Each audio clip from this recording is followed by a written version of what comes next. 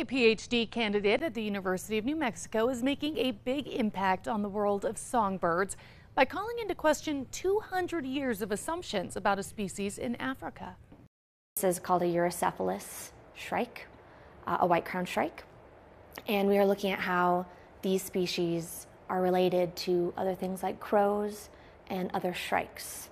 No one in the last 200 years had ever said these birds are unique enough to be their own family.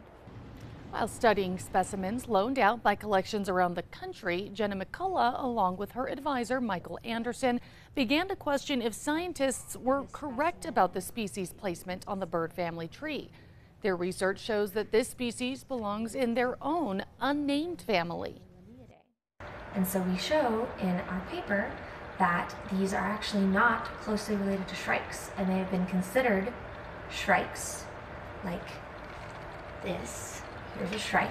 They've been considered part of shrikes because they look very similar, but their evolutionary history shows that they are separate. McCullough says discovering new genetic families in birds is rare, especially after the species was named so long ago. And so I had to go back to that literature, which sometimes isn't in English. So there was a, a paper that I had to read from, I think it was 1854, that was French. And I had to use uh, Google Translate very, very heavily to be able to read that paper. As the discoverer, Jenna got to name the new family, but she says it wasn't as creative as you'd think since she had to follow some very strict naming conventions.